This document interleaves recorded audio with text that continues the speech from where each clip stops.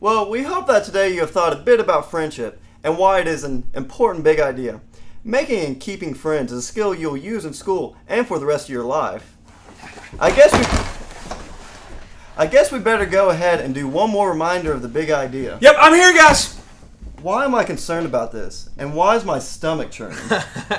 it might be the jalapenos that I put on your breakfast burrito this morning. what? yeah, never mind. You were saying something about the big idea? Oh yeah. Why don't you repeat after me? Friendship is spending time Friendship is spending time with someone you trust with someone you trust and enjoy. and enjoy. oh, yeah, well, that's great if you have friends, Tucker. Everyone can have friends, Keith.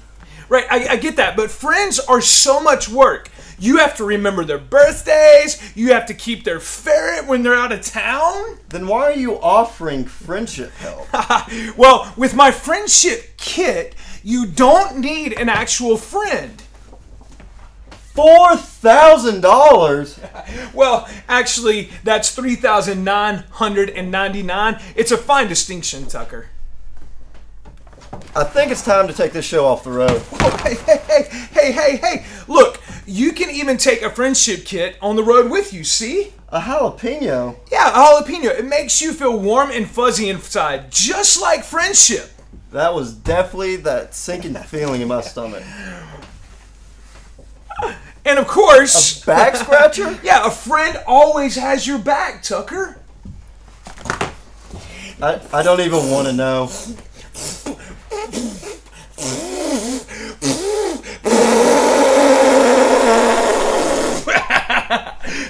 See, friends make you laugh. Keith, there is nothing in here worth paying all that money for. Real friendship takes. But you haven't seen the best part yet, Tucker. Vaseline? yeah, Vaseline. Hey, that's disgusting. Oh yeah, but guess What is this? Yeah, let me just show you. yeah, yeah. Friends stick by you as well too. You know how you could be a real friend right now to me? Well, I could offer you a twenty percent discount. If you would pick up your box and then help me clean up, I would probably trust and enjoy spending time with you a lot more. How about a thirty percent discount? Keith, Well, listen, fine. I get what you're saying. thank you, Keith. All evidence to the contrary. I sincerely hope you've learned something about friendship this month. Well, guess what, guys? I will be selling this in the cafeteria afterwards for 40% off. Oh no, you better clear that with the principal. See you guys later. Bye, guys.